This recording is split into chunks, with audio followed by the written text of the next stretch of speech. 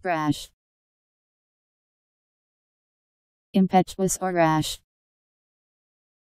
Insensitive or tactless.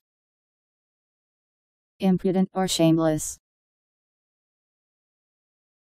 B R A S H. Brash.